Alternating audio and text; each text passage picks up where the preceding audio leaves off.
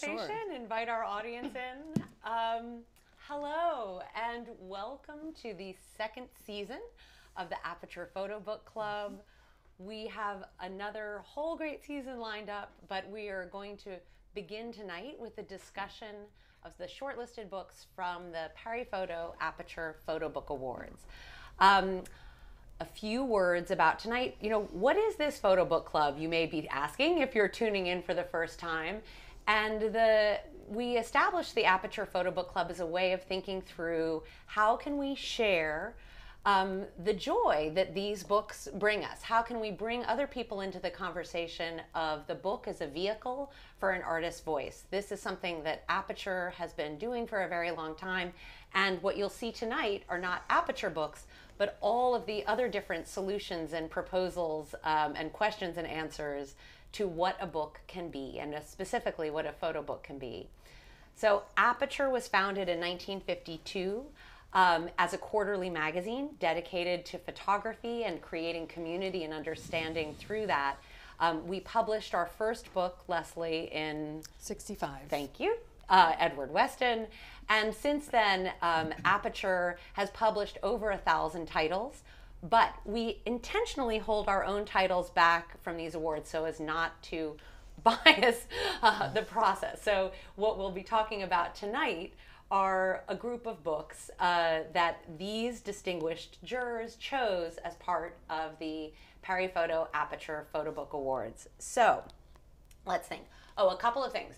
One is that this is meant, uh, all Photo Book Club gatherings um, are enlivened by your questions. And so we encourage you to put them in the chat, and then somebody puts them up on the screen for me, and I'll read them out to all of you. You can ask a question about a particular title that's coming up or of any of our distinguished jurors. So don't be shy, put your questions in the chat, and we'll ask them.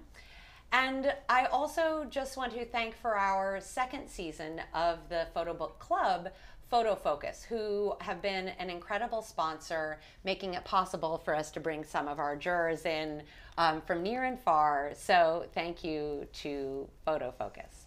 Okay, so without further ado, I'd like to introduce Aperture's creative director, Lesley Martin, um, who will tell us a little bit about this, uh, this incredible thing that she has was instrumental in founding 10 years ago um, through Aperture and with Paris Photo. And Leslie, would you talk a little bit about the awards? Sure. I mean, it has been such a great learning experience for me. That's not why it started, but um, oh yes, it is. it, it has been one amazing byproduct. But in 2011, we started recognizing that there was this tremendous uplift of photo bookmaking and we as bookmakers recognize and learn from all of that amazing creativity that is out there in the field. And it seemed as though there should be some sort of way of finding a path through this tremendous output and signaling what might be considered a great book, a good book, and recognizing that there are many different types of books that people are making and being able to recognize excellence within those those groupings it just felt like the right thing to do in that moment. And here we are 10 years later. It's uh, been great. It's been wonderful to have the partnership of Paris Photo to be able to showcase these books. Mm-hmm. I think the other amazing aspect of this is it's not just one winner or two or three winners, it's a short list. And it's so uh, delightful to see my fellow jury members from that short list here with us today. And our goal is to more or less curate an exhibition of all the different gestures and ways of making meaning that uh, contemporary practitioners are finding in this wide field of the photo book. So maybe what we'll do is we'll go let the let our other jurors because Leslie is one of she's not only founded this but is one of the jurors but let's let the other jurors introduce themselves and then we'll dive right into the books because we know that's why you're here. Um, so, me, would you, would you like to start and sort of say just a line or two about who you are and why you think, you know, we chose you to be on the jury this year? or you can answer whatever.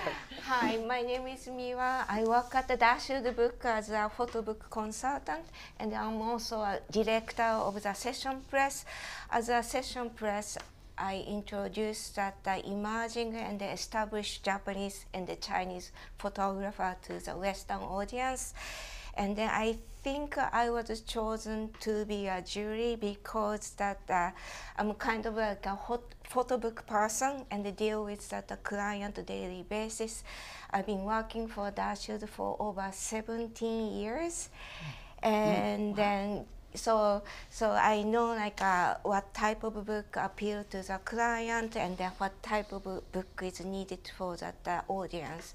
So thank you very much for having me here. We're glad you're here.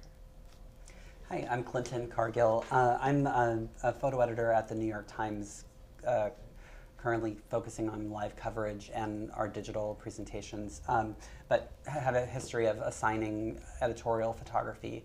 Um, so I come to this process um, as a commissioner of work and uh, somebody who's you know been looking at bodies of work for 18 years, I guess. Um, that's all I have to say. All right, that's great. We're glad you're here. Hi, uh, I'm Brian Wallis. I'm executive director at the Center for Photography at Woodstock, now relocated to Kingston, New York. Uh, and for 15 years, I was a curator at the International Center of Photography. So I've had a lot of experience working with uh, not only artists' books, but exhibition catalogs, and uh, I'm a bibliophile. um, hi, I'm Leslie Wilson, and I am Associate Director for Academic Engagement and Research at the Art Institute of Chicago, but I'm also a photo historian, um, and a lot of my work has uh, focused on kind of photo books um, and, and archival materials. And so I think that's part of what I'm doing here, but I also, um, uh, I mean, I think we all have very global dimensions to the kind of um, work that we do. I tend to kind of focus on Africa and the African diaspora, but I was really excited about the opportunity to look more broadly at the whole field through this. Well, thank you. Um, Leslie, I knew why Leslie chose all of you, but it was interesting to hear your, um, so maybe it might be interesting to begin also just by saying, was there something you learned or most enjoy? You know, this is a rare opportunity for us and for everyone to get to hear from the jurors, like, what was it like? What did you learn through this process, or what did you enjoy most about the process of being a juror? Because it's, I, I did it once and it, I loved it, but I'll, I'm curious to hear what you thought. Hmm.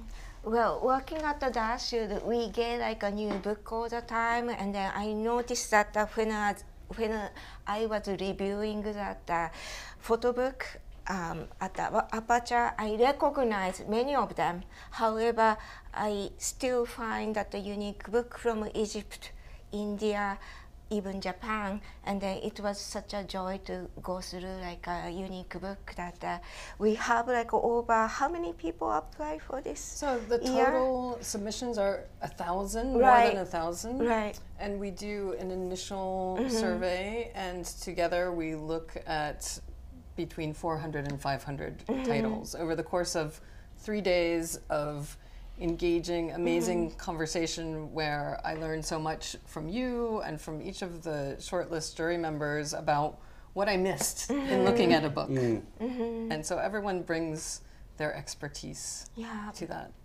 But when you break down the numbers, it seems almost impossible that we looked at 500 books in three days. I'm sorry you did. it's true. Mm-hmm. But yes. thrilling, exciting, enjoyable uh, to just handle these books even for 10 seconds and to get a sense of overall trends within mm-hmm. publishing. That was really exciting. Mm-hmm. Yeah.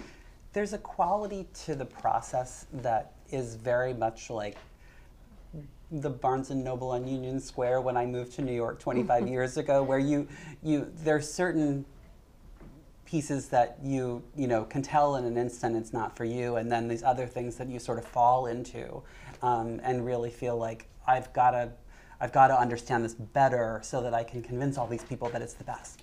Um, and I think that was exciting, and it was exciting, you know, to hear Miwa's perspective. We all bring a, a you know, the the sort of mm-hmm. the group vision was like much larger than I think what anything I could have brought to the conversation. So that was really important. Yeah, I mean, I think it was deliciously overwhelming. Like, I mean, you're gonna you kind of walk into it and you see it all, and you're just so excited. Um, I, you know, as part of my job, I'm part of the research center at the Art Institute, and so I'm in and out of the library and archives all the time. But I think it's that question of what actually invites you to slow down and really look. Mm-hmm. Um, and not just look at kind of a thing here or there, or I think we tend to kind of focus on our areas of the field or like, you know, what research we're doing in a given moment, but just to really kind of look broadly and do that big mm-hmm. scan of mm-hmm. everything. And I think it lets you see trends, it lets you see um, kind of what feels most urgent in this moment. But I think there are also some real surprises about. Actually, found myself really struck by some things we might think of as more traditional and that really hit. And there are reasons why we keep coming back to certain kinds of themes. And so that was also really beautiful to see as part of the process. Um, it's important to say also it was just unimaginably fun. You know, 72 We didn't hours want this to of- sound like an advertisement. Go ahead. No, I mean, I You can't, brought the like, fun. you know, and we, it's well known that we are the best shortlist jury to date. Um, Best jury ever, I think. but it was, Wait, I thought mine was. it was just, it was just so much fun. It was like, actually like being in a book club with, with, you know, people who really brought, a, you know, enriched your perspective on everything. Yeah, that was the thing that uh, really thrilled me was learning so much from each of you, mm-hmm. and Leslie, of course. But mm-hmm. each of you had different perspectives and mm-hmm. unexpected, and the choices that each person made. I'm like, well, I wouldn't have suspected that. All right. Well, we'll we'll get into that, but I think let's talk about some books, right? so, Leslie, the Photo Book Awards are arranged in three categories, and I thought we'd begin with the first Photo Book Award. Would you tell us a little bit about the overall structure and that category in mm-hmm. particular, and then we'll. Sure. So, as you said, three categories. The first photo book, very clear. These are books mm-hmm. where first time photo book makers are welcome to submit.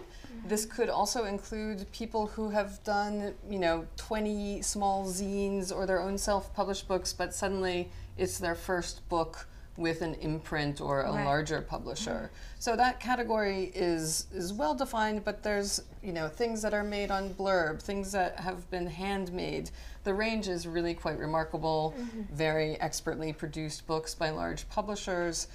And the first photo book, the winner of that category, is also receives ten thousand dollars. This is part of our goal to encourage future bookmaking. So really, in looking at that category, we're thinking, who do we want to encourage to do more, to, to take that next step to their next book? Mm-hmm. When they get to that step, then they can enter into the photo book of the year. It's no longer their first book. That is really sort of the, the expert level, what is it, black diamond level. The mm-hmm. photo book of the year is where anyone from somebody who has made 20 books in their past to somebody who has made two can enter. And then because we realize that the catalog is its own sort of distinct animal, it's really a vehicle for a curator's body of knowledge and research and all of those things that come together, that has become its own third category. So recognizing that there are these different ideas, different audiences, and different ways of thinking about how you shape a book that's why we have three categories. There is a winner in e- of each, drawn from the shortlist of 35 books, five shortlisted catalogs, 10 photo book of the year, and 20 in the first photo book category. Um, the winner this year, I think we have a wonderful video. We do. Which so can be shown. Yeah. So we'll um, we'll pause for a second. We're gonna play a little video so that you can have a real sense of this book yourself, and then we'll jump back in. Take it away.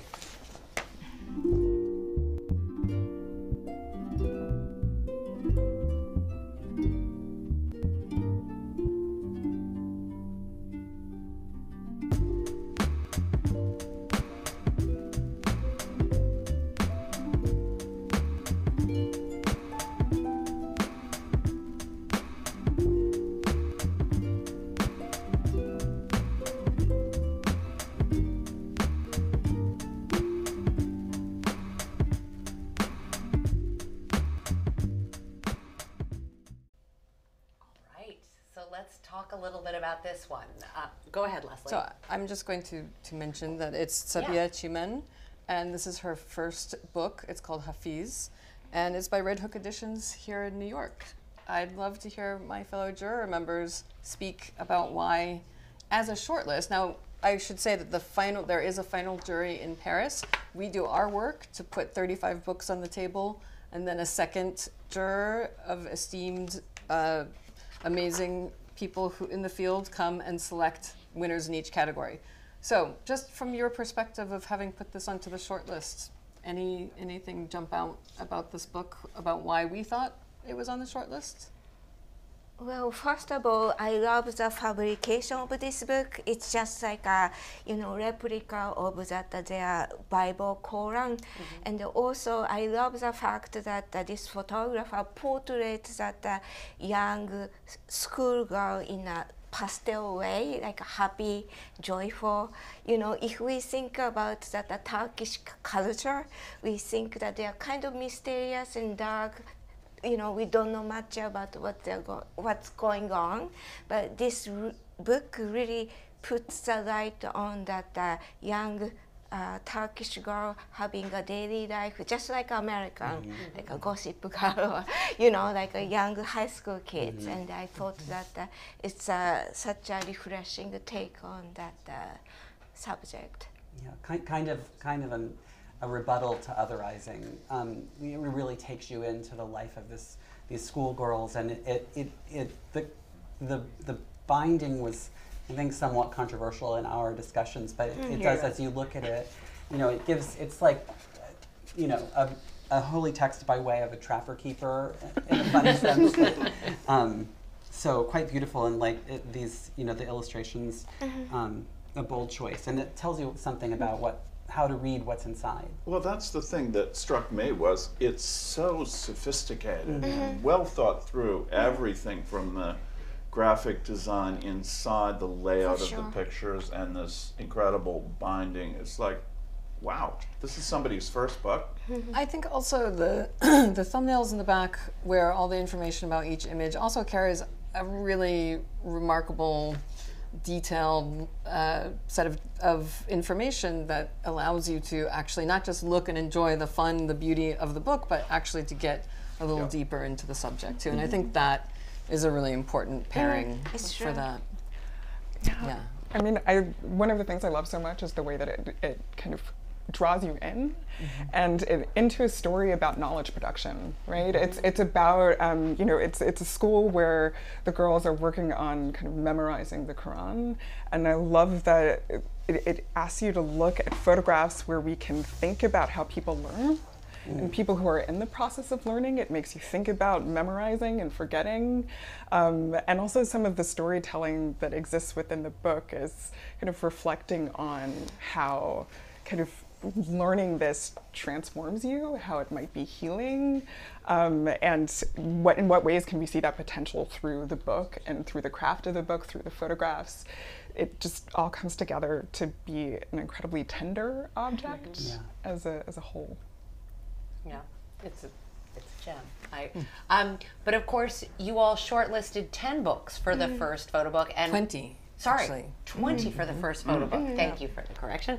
Um, and Leslie, there was one. So we we invited all of the jurors to pick one other book that was shortlisted but didn't win to speak about, and they fall into different categories.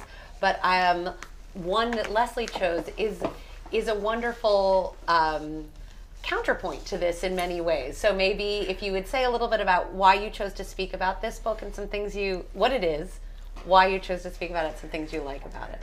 Yeah, so um, I chose uh, Marilyn Nance's book Last Day in Lagos, that is um, uh, edited by Oluremi Onabanjo um, and is produced by Fourthwall Books and um, and CARA, and it is. Uh, in, in many ways, I think to your point, it is uh, a book that you look at and you say, how is this a first pho- photo book? Um, because it shouldn't be. Um, and it was a book that I think Marilyn Nance really imagined making um, in the 1970s after she'd come back from Festac 77, which was this incredible festival in Nigeria. Um, Just that say was that one more time. 1977 Yes. she made these photographs. So Sabiha wasn't born. So just as a, just as a point of reference. Right. um, and so has been sitting on this incredible archive of, of material and knowing that it was really important and looking for an opportunity to bring it all together. Um, but in a way, it, it like it wouldn't quite be this book, which is which is even more reflective, precisely because it it waited, um, and it's a book that I think really thinks about. Um, I, I find myself reflecting on something like, yes, thank you, Jennifer Bajorek's um, kind of notion of the decolonial imagination, but I think it also engages diasporic imagination. Um, what is it that brings us together? Um, how did Festac function? And for Marilyn, I think it's a real reflection on joy and the fact that this was a really joyful celebration. Um, and so I think one of the photographs that has really struck me, as much as there's a lot of documentation of of people who you know kind of like from from this and like very clear kind of frontal views or candid views i really love this photograph towards the end of the book of kind of trapeze artists and this moment of like almost coming together and it feels um, deeply poetic in relation to everything else and um, a, a few last things. I love the scale of this book and the way that it kind of fits in your hand, and that you know, if if Marilyn was thinking about Festac '77 as a family album, it, it feels like a family album, um, and it's one that's you know, um, Antawan Byrd in the book talks about you know an intimate perspective, and it really gives you that kind of intimate view on um, on a really huge fest, like literally huge festival. Um, so and it brings it back really forcefully and and really beautifully. Thank you. Also, an amazing way of using text to support and to guide the viewer through here. It's really part of the structure in this case, mm-hmm. and I mean, it's just so oh, well Oh, yeah, woven together. Yeah. So yeah, Way to I say mean- that out. Say it out loud. Yeah, so if you want to hold something real in your hands, you need to hold this, right? Mm-hmm. So this book mm-hmm. also tells you kind of what it wants you to do. it sets its own terms. Yes, Yes. and it sets its own terms for kind of you know how how Black people might imagine the future, um, um, kind of a, and a kind of dream of of African unity that kind of is still before us. Um, and is not only of the past, and so I love the way that it is. It's reviving an archive, but has us thinking about the future too. But it is extraordinary that it's referring to an event that was almost 50 years ago. And that's what is the device to look towards the future. It's very exciting in that regard. Truly, love it. Yeah. But there's so many other categories and so many other books to Yes, talk about. yes. So Leslie, maybe uh, if you talk a little bit about the the second category and the book you're holding in your lap before we get to the Oh yes. Okay. So we'll we'll talk about the catalog. Yeah. Of the year, Yeah, the photography catalog of the Okay. year. Let's talk about that. So, I mean, and again, the, the definition of catalog is a little bit more expansive than just a book that is created to sit alongside an exhibition, although that's often the case. It can also be the catalog of an archive, it can be the catalog of an experience, but really it's about uh, a relationship to a set of objects or something that may be in an, ar- an archive or a museum. Um, this is a really fascinating example and a little bit of uh, sort of. Oh wait, was I supposed to talk about that? Yeah, yet? yeah, start with Sorry, that, start with I just yeah. got so excited. Yeah, but no, we're I got we- I going agree, straight in. But so I'm thinking about you know this. In a way, it did accompany an exhibition, the 50th anniversary recreation of Diane Arbus's uh, uh, exhibition at MoMA in mm-hmm. 1972. Mm-hmm. So that was the occasion on which it was published. But this is an, an archive and a catalog of response. And it's almost like the geological sediment or mm-hmm. record of the discourse that was inspired by this one body of work of Diane Arbus's output. And it's just page after page of reproduction. And it's not everything that was ever written Oh, I about think Arbus. it's everything. It's not, it's not, it's not everything. There's It's actually in the back. There's a record of. There's a whole bibliography, and you can see which ones were reproduced, which ones weren't. But it's a fascinating um, sort of document. Literally, the title is documents. It's a collection of documents. It goes from an exchange of letters where Arbus was pleading with the National Bibliothèque in Paris to please buy her prints for all of $100, all the way to, you know, these amazing um, extremely laudatory celebrations looking back on the occasion of retrospectives of her work. So it's also tracing the idea of value and the value creation around a body of work. I'm not showing good pages. Um, but I love that they just like rip took up the, the page of the uh, written review or commentary and have gathered it together. It was inspired by a binder that was created on the occasion of um, a retrospective of Arbus's work, and so this sort of replicates that idea of something a little rough and ready and easy to the hand. But it's just it's something that really rewards a close look. There's all sorts of hidden details that actually also reveal humor in this discourse when we think about it as having so much gravitas. Like there's this letters. Uh, letters uh, to the New York Review of Books, where Neil Selkirk sort of challenges Hilton Als' use of the word freaks, and you know Neil gets into it. Neil is one of um, has printed the only person who is uh, who has printed Arbus's work, and at the end of this, Hilton Als replies, "If you say so," and so it's just like this great record of how people have engaged and and of the response. I don't know how else to say it except Um, this reception. may come across as a trick question, but it's coming from the audience, so apologies. Do we know who the designer is of that book? I can't Yes, remember the name. I'm Okay. pretty. Let It me double check, Yolan- but I'm pretty sure it was Yolanda. Yola- okay, I Cuomo thought so. I mean, right, we- worked closely with the And there was estate. another- Now, I will say, uh, so editorial director Lucas Zwirner, design Yolanda Cuomo, Bonnie Brandt. Love a good colophon page, right? um, you know, and, and of course the estate and the galleries also um, involved in helping to select and shape it. But really, kind of an extraordinary take on the catalog.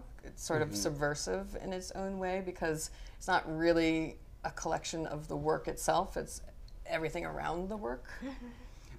but also like a, a book within a book expe- as a as a tactile experience. Right? Yeah. Yeah, so you also get this, uh, it's sort of a record of the uh, criticism of photography too, like who's writing at what time, what publications actually featured photo, you know, a commentary on photography, um, the ads, you know, that go alongside it. So it's it's also this sort of chronology of the time period in which that work has been meaningful. So, for those of you who might be worried that we're not going to have time to talk about the photo book of the year, we will. So don't be alarmed. But that, believe it or not, as wonderful as the book documents book is, and I share your enthusiasm for it. It didn't win, which is actually a pretty interesting illustration of the second part of this mm. process. The book that did win is also amazing Yes. and mm-hmm. also was chosen by all of you. Before we talk about it though, we also have a little flip through video to help give people at home a little bit of a better sense of this. So let's cue the video of Devour the Land and then we'll talk about it. So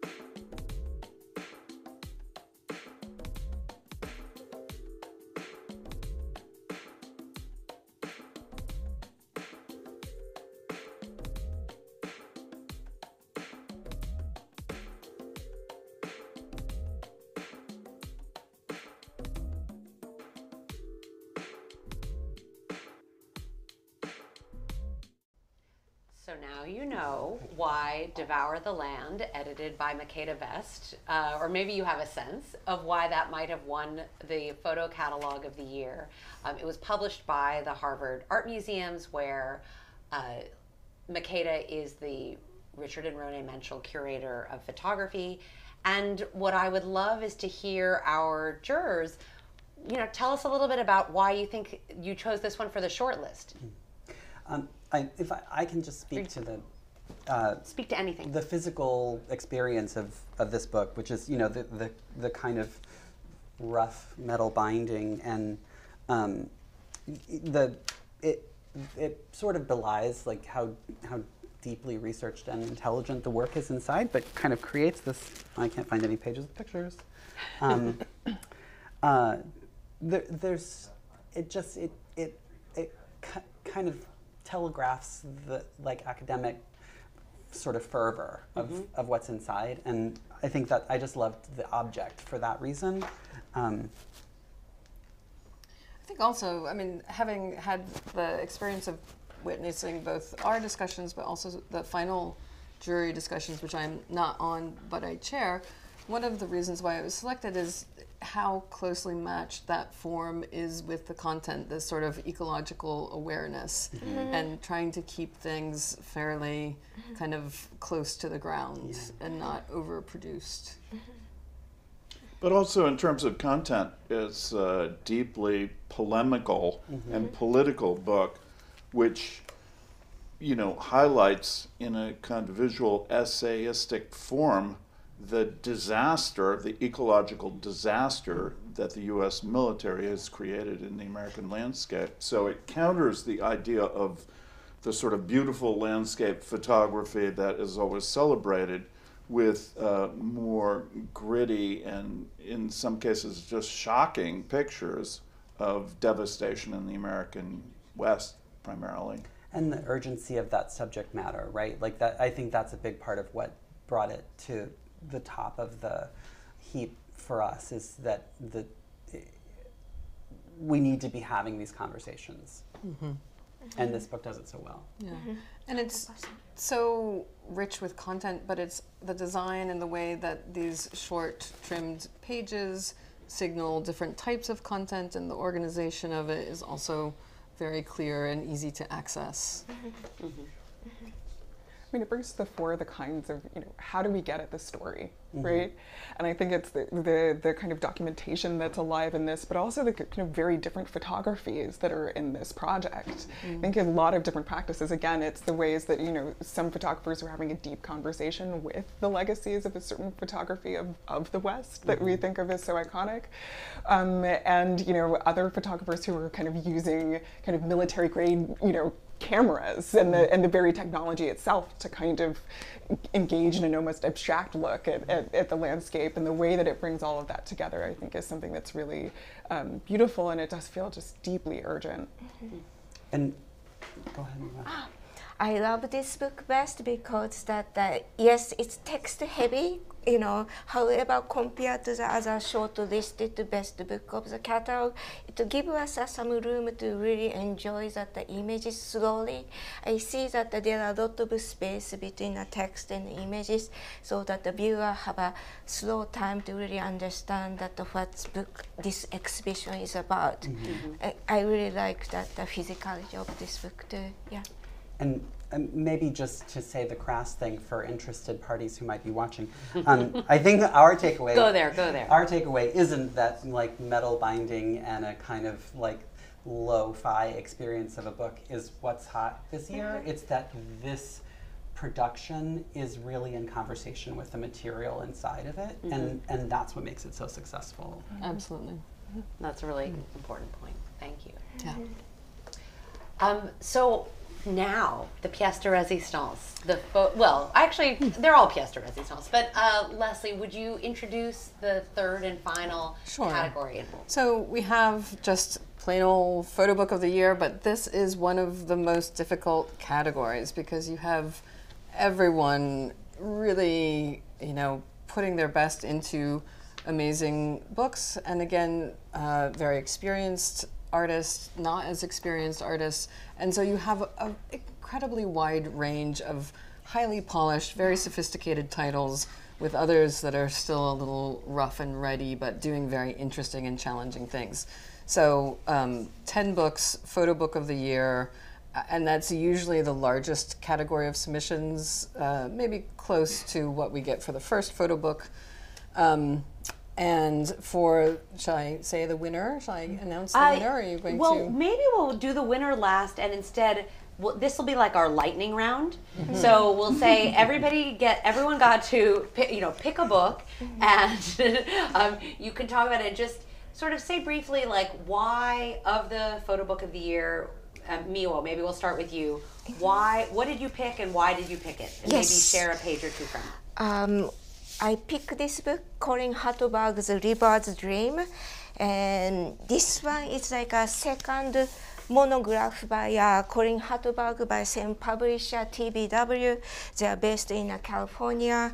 Um, he took like over 10 years to complete this project. He received like a Magnum uh, Fellowship Grant 2015, and there are 65 color plate inside of this book.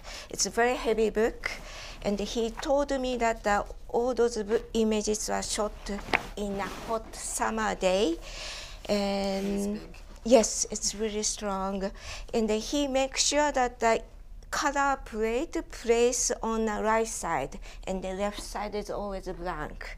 Uh, to be honest with you, it took me a while to really understand that his work because I'm from Japan. I really don't understand that the Americana so much.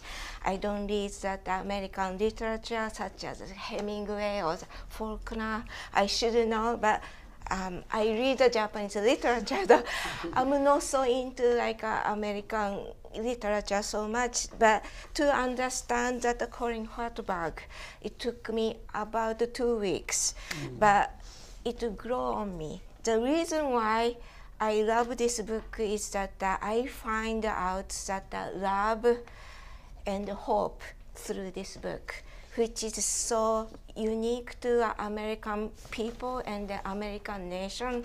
I know American people are sometimes very self-critical about their own nation, but coming from Japan, I have to say American people are most welcoming and the nicest in the world to the immigrant like me.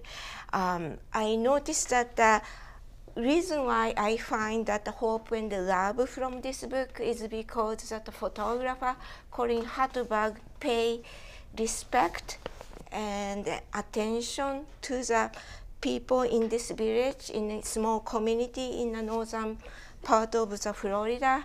I don't find any judgmental observation from him to the people here.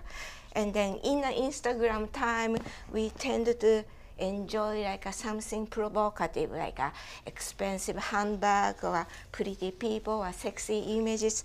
I don't find any single provocative, sexy images here, but I find that uh, his sincere uh, careful attention to the people.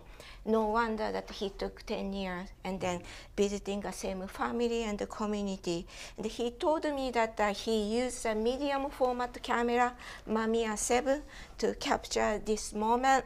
And then he sometimes so into like conversation with the people in this book that he forgot to taking a picture. That's how close he was with the, those people. Um, I see like a many photo book at the Dashwood book, and when people come to the store and ask me for like a best photo book, I always chose this book to the uh, client because it's. I have to say it's all about photography. It's not so much about like a, you know, gender equality or social issue or environmental issue. Yes, those subject is super important. However, he just uh, that a good picture and then respect it there, and then which is uh, kind of uh, not trend right now. Ho- however, I have to say. This is one of the most beautiful photo book I've seen last 17 years, and I'm so proud of him that he completed this project. I have to say- Sorry, I, I no, I, continue I, talking. w- I said we said one line, but like that was really Sorry. beautiful. And for Curran alone, I Curran, I hope you're watching. I hope you get, I hope you get to hear somebody speak with that kind of passion about your work. What a gift! So.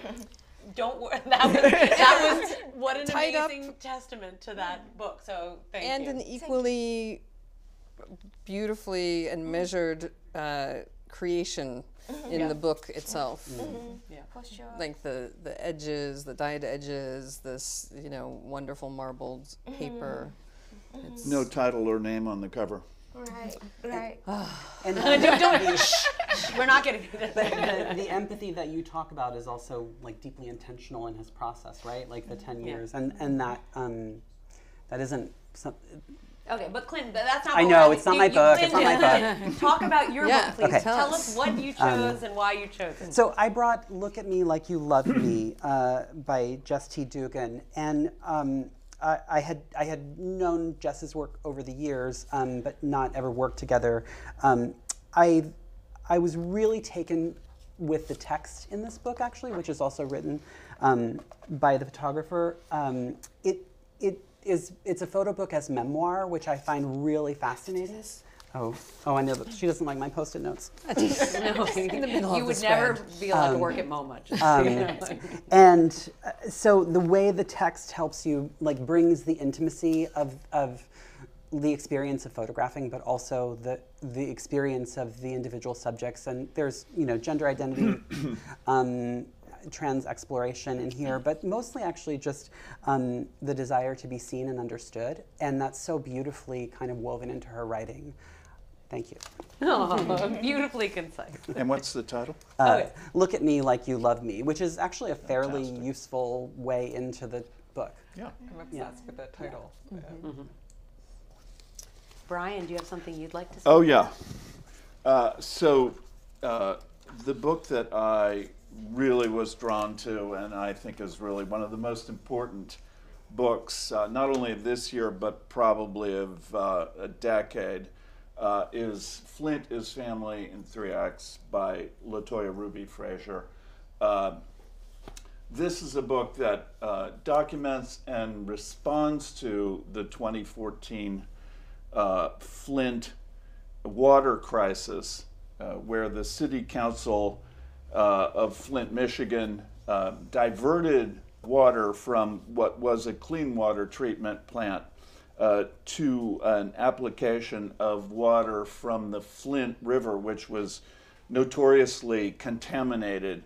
And uh, within a couple weeks of that switch, uh, residents of Flint, uh, uh, particularly poor black residents of Flint, uh, who are the predominant population, began to experience uh, negative health effects, including serious diseases such as Legionnaire's disease. So in 2016, uh, LaToya Ruby Frazier was hired by Elle Magazine, of all places, to go to Flint and to document uh, the residents, to produce portraits, really. And she created a much larger conception of this project. Uh, as she says, in the spirit of Gordon Parks, she wanted to use her camera as a weapon and what's exciting to me is she really has created a unique take on documentary photography. Uh, it's sort of signaled in this uh, in three acts part because she has three different creative solutions to looking at this uh, situation uh, and ongoing crisis in Flint.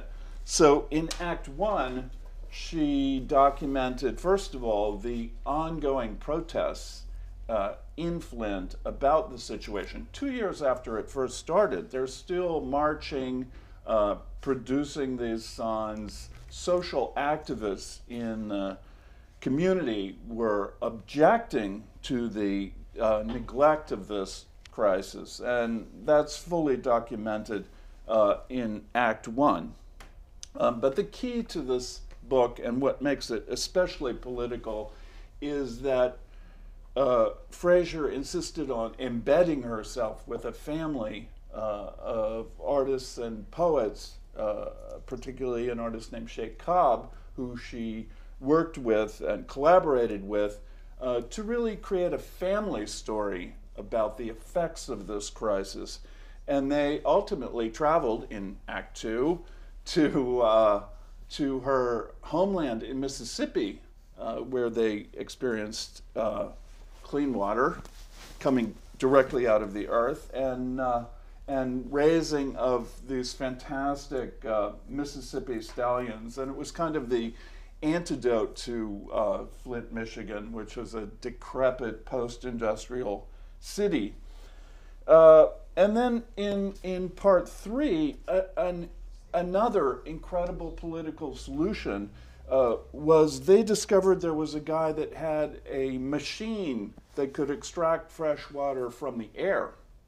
So somehow they finagled to bring this machine to Flint, Michigan, and it worked. And they were able to provide fresh water for free to residents of the neighborhood. And here you see it says free water, and people showed up with all kinds of uh, utensils to take off fresh water and to provide for their families uh, for the first time in years. Uh, so I was just so excited by this book because it really is uh, an incredible political document as well as uh, an extraordinary intervention in the uses of documentary photography and an extraordinary book produced by Steidl and the Gordon Parks Foundation. So, thank you, Brian. I think so, and I get to talk about one too. so, um, so the book that I'm talking about, even though I wasn't actually a juror, um, actually, what is the? How do you describe this kind of binding, Leslie? Exposed binding. Exposed binding. So you can read the title of this book, The Scum Manifesto, um, on the spine of it, and I the you know the vulnerability and the violence uh, that's embedded in this book. Um, it declares itself from the start.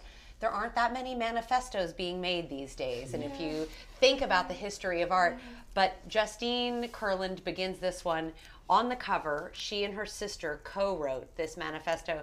I, Justine Kurland, am scum.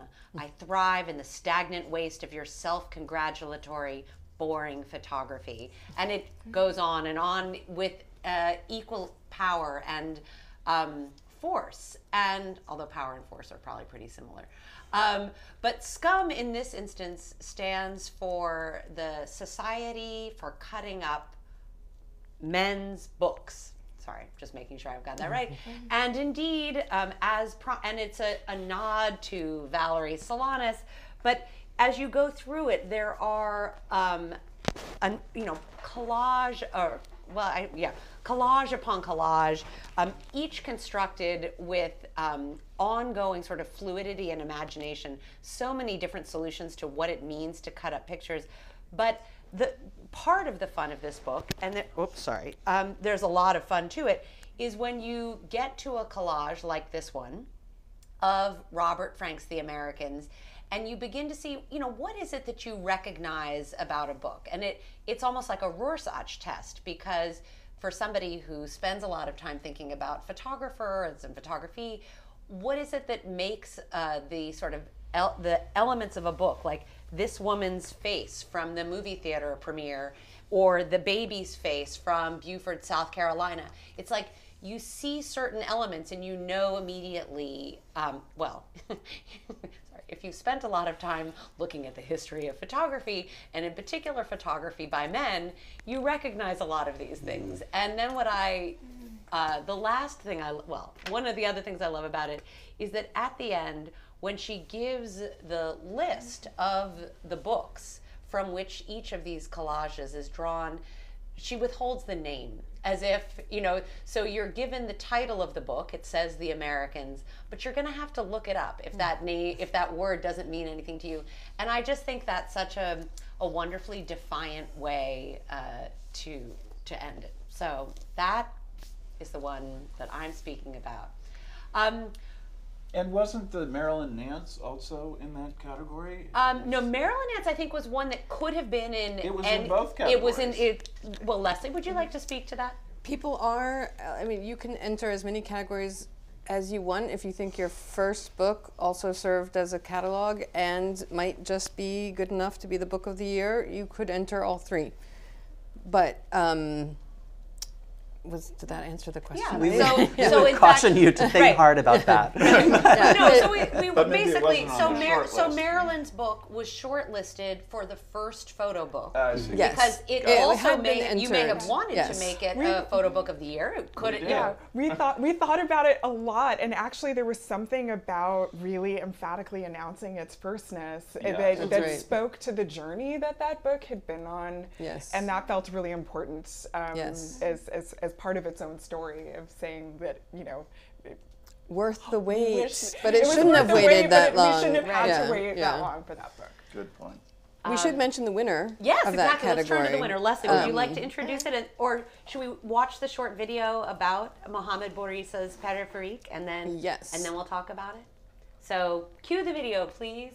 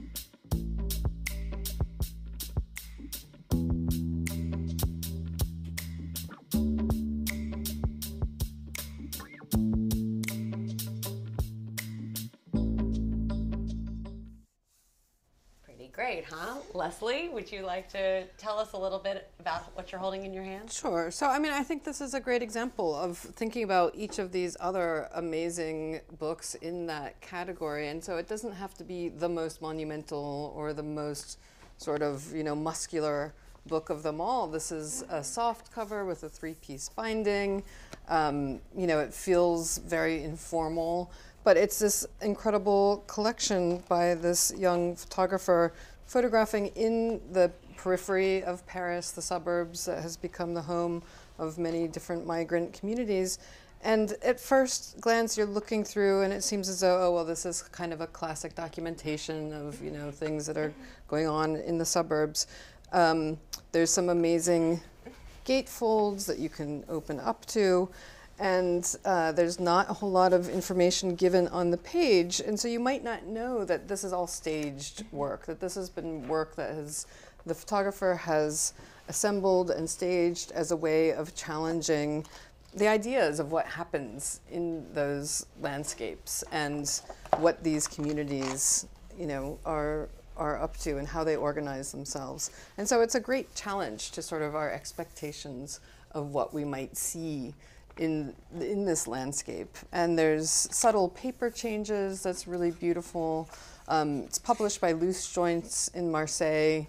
Um, just very sophisticated, just enough. There's a contextualizing text by Clement Chéroux in the back. So, you know, this is not necessarily something that sort of, it is, I think, almost 10 years of work, but it might not feel as though, like, I'm the photo book of the year. And yet it works. And it's just kind of this, like, just enough and really well done. But I'd love to hear Leslie, could you say a little bit about the final jury?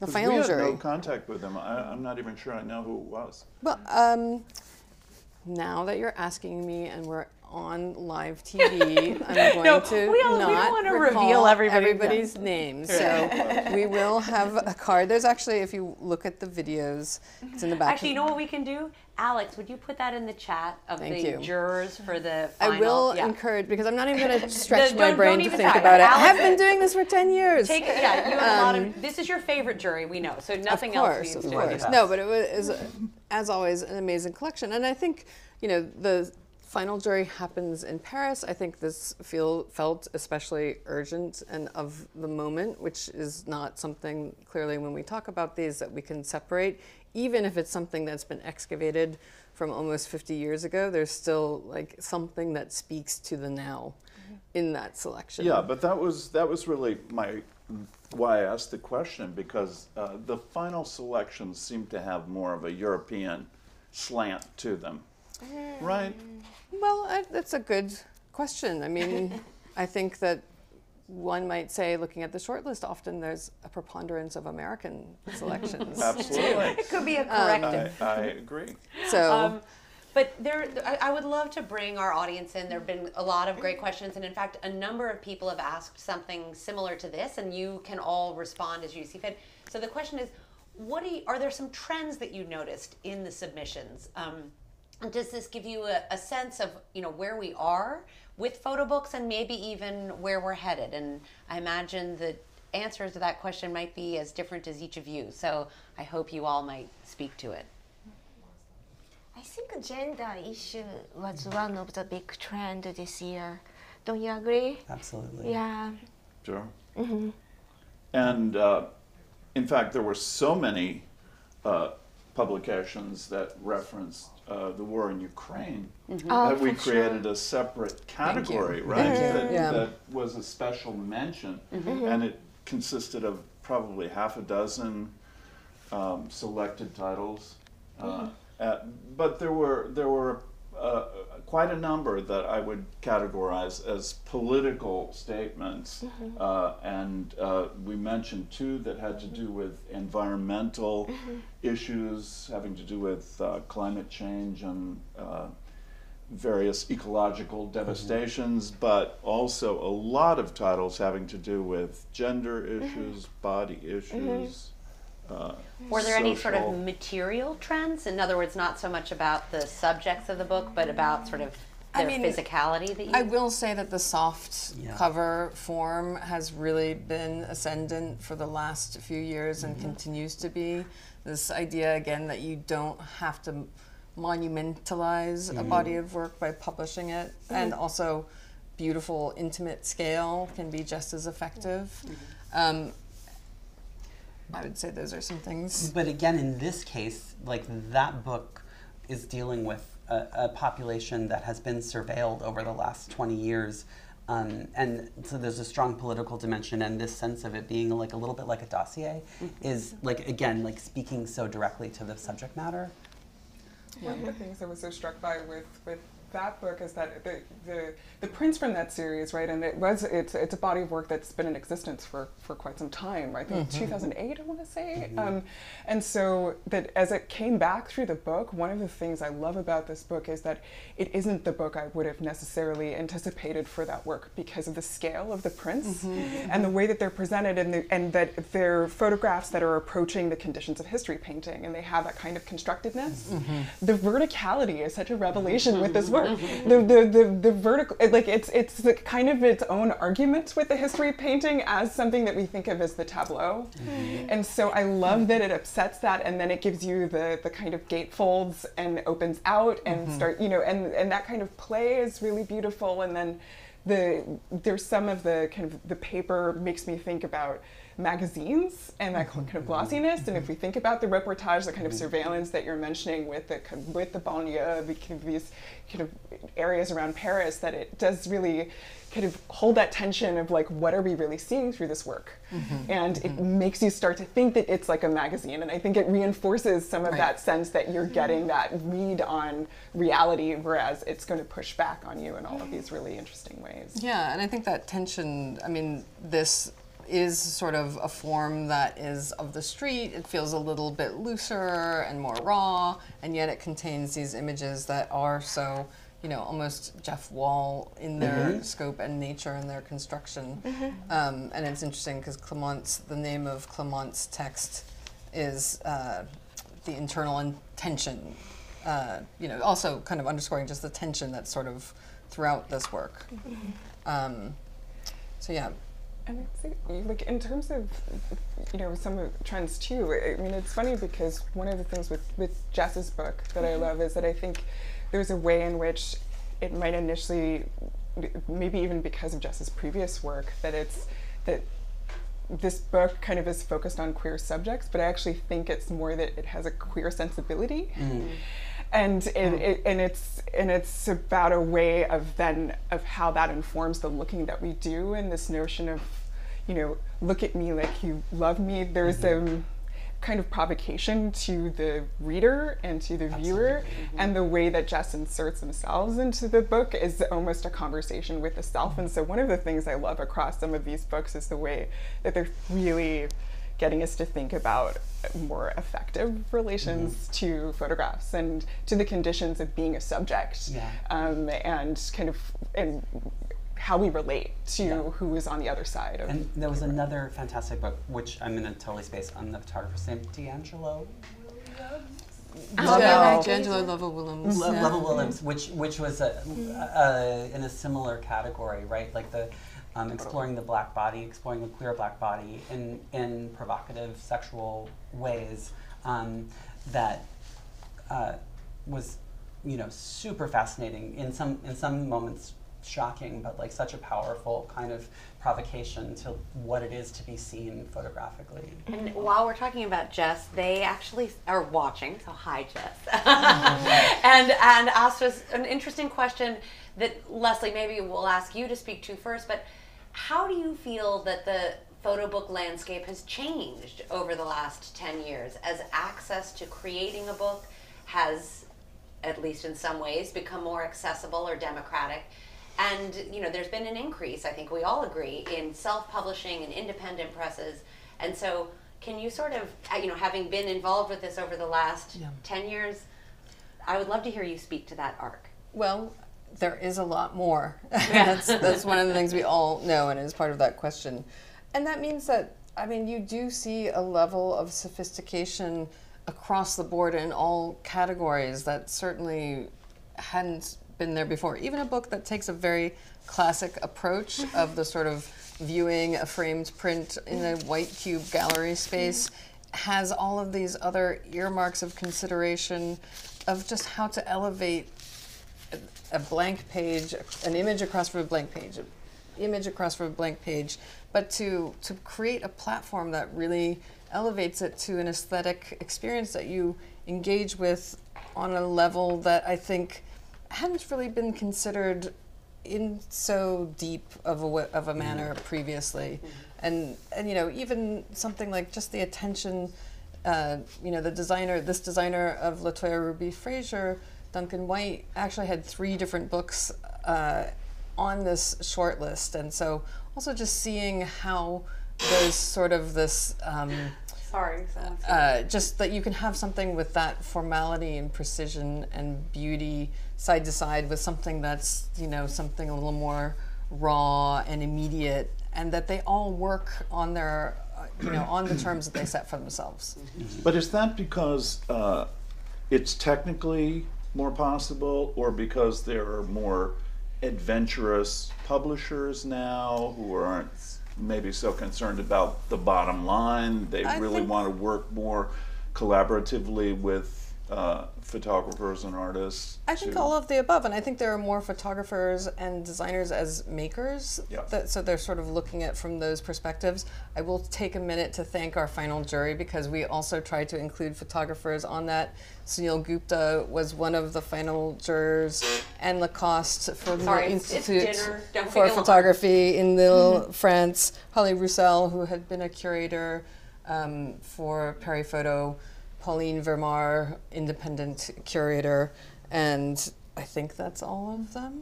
But that's uh, so just oh, like Alan. oh, Elan Kemen, Yeah. uh, who is um, a professor of sociology. So I think um, that doesn't answer your question as to why or how, but I think that each of these jurors, just as yourselves, come at this form from your own perspective and enlarge it in participating in it. And so it's just it's it's not that you get one book in your life and and that's it.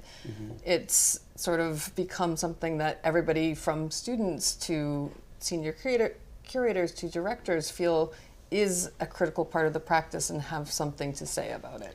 Um, can I offer a hypothesis and, Please. and then please shoot me down? love when a I get that? hypothesis. Um, like uh, where print as a a- as a commercial venture has really, um, as we all know, shrunk over the last 20, plus years.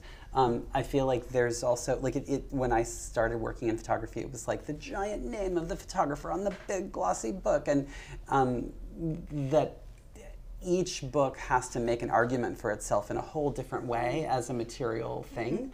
Um, and I think that's what's so exciting about the landscape of photo books now. Does that seem Absolutely. Yeah. I think you've said it.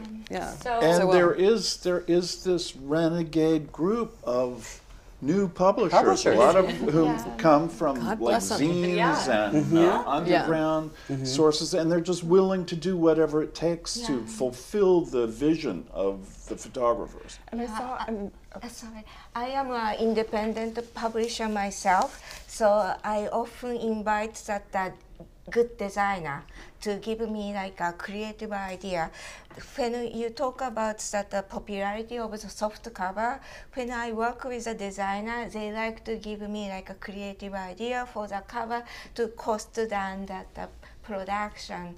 So I think that the reason why we see mm. that more soft cover is the independent publisher try to come up with that, that creative idea for like uh, a publication of the book. And then and then the reason why you see like a more gatefold is that the designer step forward to the photo book industry more than ever. So I think that the uh, publisher, photographer, designer act together to make a beautiful book more than ever right now. and I saw a note in the the questions about um, Phyllis Christopher, and that signaled something for me because I, I mean, it was a question about kind of whether this was the book on the floor, and actually it was Last Day in Lagos, so that I that I'd put down, but it made me think about both for someone like Phyllis Christopher and I think Marilyn Nance. There's also this way in which like there's an there's a book that's overdue, mm-hmm. and there's a mm-hmm. way in which I think one of the things we're seeing manifest in in books and in, right. I mean, it's like it's always happening, but I feel like it's really coming through in a beautiful way right now. Is the revival of certain archives, mm-hmm. like projects that were really overlooked, or ways in which um, work that had like maybe largely existed on the margins, and that was an important way of, of its life and its existence, but it's finding a new platform kind of in this moment, and I think that's also something really kind of great in in the work that we've seen. And, and that was another trend, right? Like we had these kind of rediscoveries or reexaminations or just sort of lost archives, like that incredible trilogy of from the Egyptian photo- studio. Oh, Van photography. Leo. Van Leo, Leo, yeah. Um, and the, the I think Dark Rooms was, was one of the other books where it's like this is happening more broadly in the culture. We're, we're looking back at what we've, we've missed Yeah. in the most, um, that's so a glossy. speaking of looking back at what we missed, we're we decide we intentionally decided this couldn't possibly fit in an hour. So all of our Aperture Photo Book clubs are under an hour, but not this one. But um, but we're already still pushing way past what we want to do. So what I would love to do is take one last audience question, which is to ask each of you if you have a favorite photo book of all time. Now I no. know this is going to be very difficult to answer, but if you would please try uh, to name at least one of your favorite photo books of all time. I think everyone would be very, and including myself, would be very curious to hear that. And then we'll, um, and then we'll close it. Actually, how about this? While you're thinking about that, let me just one. say that all of the 35 shortlisted books um, if you are in New York City, um, or if you're visiting New York City, they are on view at Printed Matter through February 26th. So you're seeing how much fun we're having holding these in our hands. You can go, you can see the ingenious methods that have been devised to allow you to really experience these in all their glory. So um, go to Printed Matter if you can visit New York. And that exhibition of the shortlisted books also travels. So you can look on Aperture's website and see it in other places around the world in the coming months. Um, so that was my mention of Printed Matter, which was meant to give you all an extra couple of seconds. Who, who's the brave soul who wants to go first? Okay.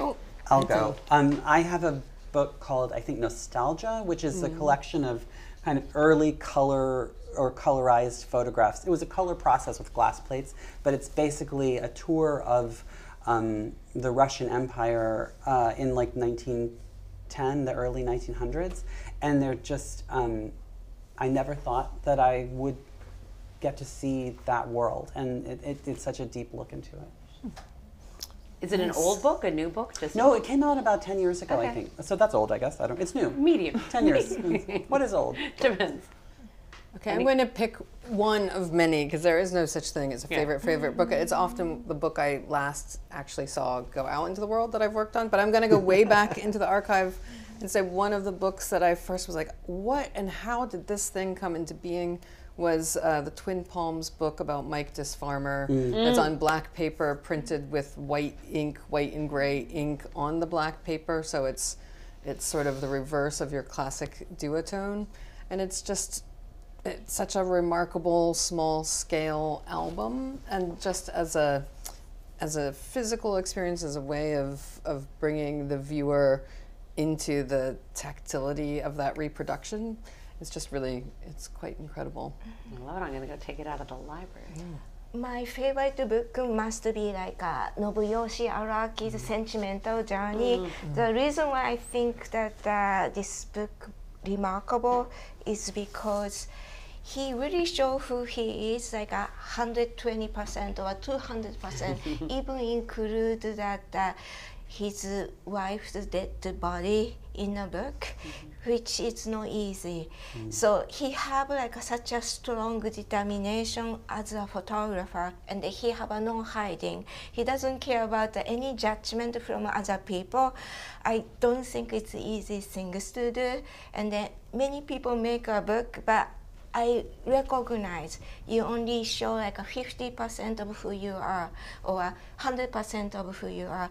If you want to be like a famous photographer or good photographer, you have to really show more than 100% of who you are. I find that this sentimental journey by Araki really defined that uh, best book of the history for sure. I would pick up a little bit on what Leslie's saying. The, uh, you know, I, I go through waves of what's my uh, current favorite, uh, and it's often the last one. So I'm tempted to say uh, Family, but I'll also cheat a little bit and say an Aperture book, Aw, which is LaToya Ruby Frazier's A Notion of Family, which is Mm-hmm. an incredible book about her upbringing in Braddock, Pennsylvania, which was another uh, devastated post-industrial, post-steel town where you know half the population was infected with diseases from this contaminated city. And uh, she just so bravely documented her whole life and family uh, in this in this blighted landscape. Love that book. Um, so I, I feel like this is also going to be in conversation with with Aperture here because um, it's you know favorite favorite is hard. I also think that all books should be pop up books. Yeah. I want I want Oh no, not that again. I know everything should be a pop-up book. I, I want, I want like you know, I want a concertina. I want things to drop out, and like so I want, I want confetti to explode on my face. Um, and so this is gonna, this is the total opposite of this, but it's, it's, but it's um, what I'm working on uh, related to what I'm working on right now. But er, something like Ernest Cole's House of Bondage has been Oh, yeah. really important to me. Um, and I, and I think you know I'm I'm always interested in in this question of how kind of photographs motivate us, how they move us, how how we make arguments through them, um, and uh, how they the photographs that we put into books go out and live all sorts of different lives afterwards. And that's definitely a book that. Um, his work got seen through and then kind of pulled and really in some ways divorced from from him to be part of a, the kind of in service of the anti-apartheid movement um, in all sorts of really complicated ways. Um, and so it, to me it's one of those photo books that really gets us thinking about kind of where they sit and how they move through the world. Um, so I go back to it often. and if the camera is a weapon the photo book can be a weapon too just to Totally. Um, so, thank you, wonderful jurors, um, for letting us in on your thought process. Thank you, Leslie, for continuing to lead the Paris Photo Aperture Photo Book Awards, bringing all of these to our attention. Um, thank you to Photo Focus for your support of the Aperture Photo Book Club. It means a tremendous amount to us and to the audience that gathered, to everyone who's questions we didn't get to answer. I'm sorry. Um, we hope you make it to Printed Matter to see these books, and we hope to see you again soon Um, for the next edition, wait, one more thank you. In addition to Photo Focus, I have to thank Candle Productions and our wonderful Aperture colleagues who do so much. Alex, Brianna, Frank, and a lot of other people to make the Photo Book Awards happen, to make this uh, Photo Book Club happened. So thank you to our colleagues at Aperture too. So and thank you to the audience. This is why we do it. We're glad you joined us. And uh, until the next time.